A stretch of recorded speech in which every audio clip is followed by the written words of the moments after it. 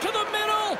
Oh, what a missed chance that was. Yeah, he's got to make a better play there. He's done everything right. Score!